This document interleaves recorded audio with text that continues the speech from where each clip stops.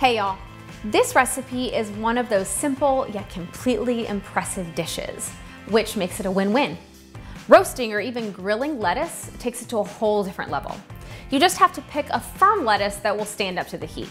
That's why you, you'll lose romaine in this recipe. That was a bit of a tongue twister. Let's get cooking. First, turn the broiler on and line a baking sheet in foil. Whisk together the two tablespoons of olive oil, the Dijon mustard, white wine vinegar, a pinch of salt, lemon juice, and zest. Set aside. Slice the romaine in half lengthwise. Place the lettuce on the foil-lined baking sheet, cut side up.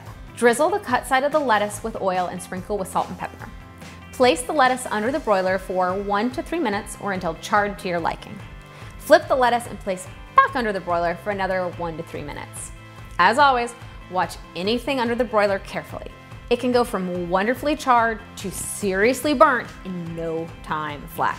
Once the lettuce is charred to your liking, place on a plate, re-whisk the dressing, and drizzle on top. Let's eat.